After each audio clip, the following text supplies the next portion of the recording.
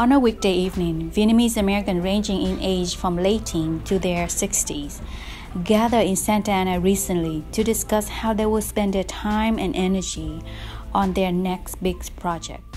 Across the town in Irvine, another group of Vietnamese American volunteers gathered to discuss how to make their concerns heard at Irvine City Hall. Equipped with both languages, English and Vietnamese, and sometimes Spanish and French, and the knowledge of multicultures, Vietnamese Americans are maintaining their legacy and exerting themselves in mainstream cultures and politics through an American tradition volunteerism. Người Việt reporters interview volunteers from Viet Film Fest, Viet Rise, Vietnamese Student Association, and the Vietnamese Catholic Student Association to shed light on the motivation to volunteers among Vietnamese American youth and adults in Little Saigon. We want to find out what are their interests and why they volunteer, because they are the ones that are shaping the identity of Little Saigon now and in the future. Today, Tracy La the 23 years old founder of VietRise, lead a group of UCI students and community activists to Irvine City Council meeting to voice their concerns about immigration issues. The City Council lost quorum. One of the City Council members decided not to show up.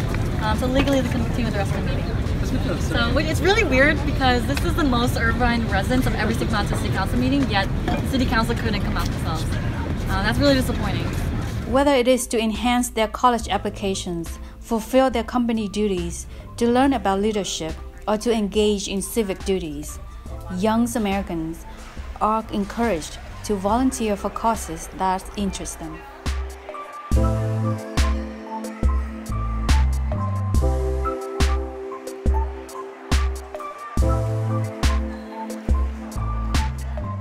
Lot of us are out here today because Irvine City Council decided to take a stance against um, this California sanctuary laws against our immigrant community. And so we wanted to come out here again, since this is the second time that the City Council would consider doing this, say that uh, youth of color, students, Vietnamese folks, Vietnamese community members are not okay with the fact that like our City Council is trying to go against um, issues we care about, against our immigrant community. Is that like, you know, I went to school here, but how do I bring these back to my own community?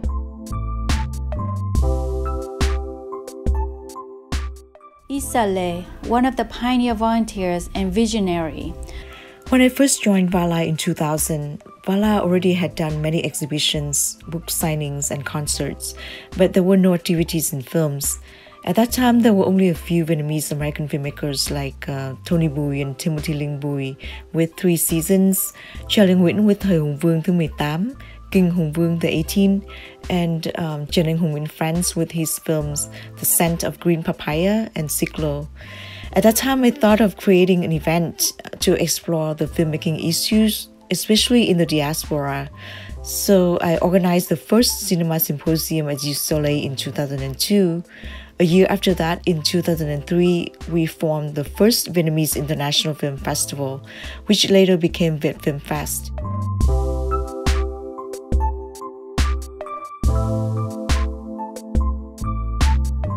Filmmakers, it's coming back home to Vietnam and making film right now, it's American based. Okay, they, they, they're coming from America. They, they're coming back with all the experience that they're learning from school here in, in, in America. So they have good experience and knowledge about film. And they're coming back, and for the past five years, it's actually a lot of uh, American Vietnamese filmmakers making a lot of um, changes the Film Fest original volunteers were that of its parents' organization, VALA, or Vietnamese Art and Letter Association, and students from Vietnamese Language and Culture Group at UCLA. Now, the Viet Film Fest volunteers come from all backgrounds, generations, and everywhere in Little Saigon. These groups include students, engineers, doctors, artists, retiree, activists. But today, they are volunteers. American Volunteer as a young person, um, I think it's extremely important for us to continue to have our platform boosted as young folks, right? For people to continue to listen to us, see value in what we bring to the table and into the room, quite frankly. Um, you know, I feel extremely empowered just to be in this space, and I'm hoping that you know more folks continue to like learn about this and want to get involved because we're always always trying to look for more people. Um, and something, a practice that I've learned, you know, through this program is valuing people and meeting them where they're at. Um, no matter like how much like education they have, how few education they have in terms of experience, all that. Um, meeting people where they're at and understanding like as you know, a community member, how do we continue to serve each other and be in solidarity with each other as well as other communities? And on top of meeting community members where they're at and working together as a community, we are young people, but we care about our parents' generation. We care about um, older people who have been living here for a very long time, and so there's a lot of issues that are impacting all of us: housing, immigration, um, living wages, and so you know, like even though we're young people, we, we can't wait to to continue working and to work with folks who are a lot older than us too, because we care about we care about us all as a community, and so we hope um, to see that continue and to see that see you all come out and support us too. It, it sounds cliche to me that you know giving back to community and all that stuff, but I I believe that you know if you do it, I, I, I did it the first time and I, I felt great about it.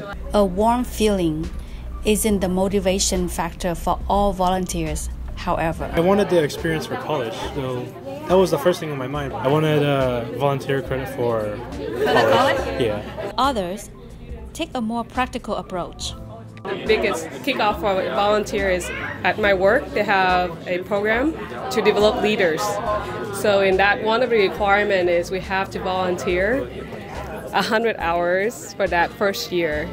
So then I seek out for and uh, to learn about community, to give back.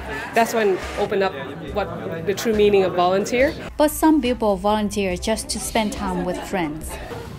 Um, to be more involved with the Vietnamese community and to basically do something other than going to school.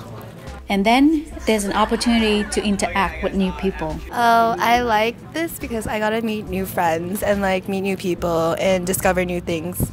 I see it's really fun. It's a fun event, and um, I get to share my experience with my friends. So I bring more friends here, so we know more about the Vietnamese film.